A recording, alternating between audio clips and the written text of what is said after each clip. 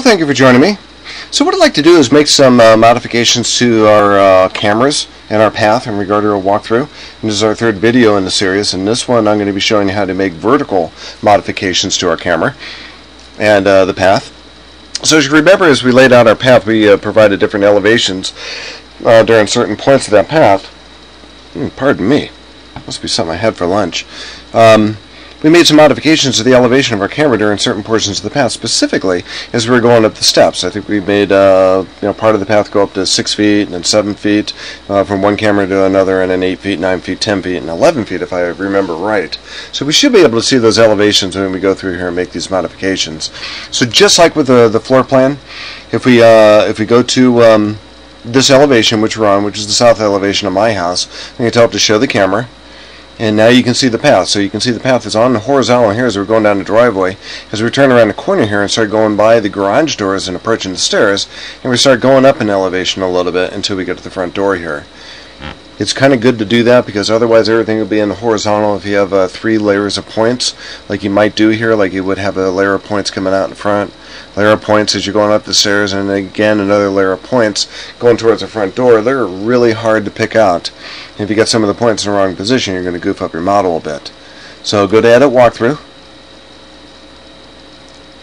and uh, let's go to active camera. Our uh, camera's in the very end of that. But right now we're not going to change our active camera. What we want to do is edit our path. So what we want to do in the very end, very end of this thing is we're going to take that camera and we're going to lift it up a little bit, the very end, and we're going to work our way from the from the end to the front. So with that is going to be this point. From that one is the next one. We're going to move that up, and these that are going up in that direction on that side of the stairs, we're going to go to the other elevation and make modifications to that. So at this point, this is definitely something we probably want to edit on this view. We'll bring that one up. And bring this one up as we're coming up towards the top of our landing. And then bring this one up. So it's kind of parallel with the rail there. And that comes down to this point down here, it looks like. Which it does. I don't necessarily want to go down a little bit, I just want to make sure that's the right point. So that looks like a pretty good path. Looks like we're in a pretty good position there. So let's go and uh, edit our camera, our active camera. Again, just like before, uh, as we're going in the in the house, what we're doing when we uh, modify the active camera in a vertical view is we're deciding where they're going to be looking up or down. So as we're going to the front door, maybe looking straight ahead is pretty good. Maybe from this position, maybe we want to look maybe up towards the house.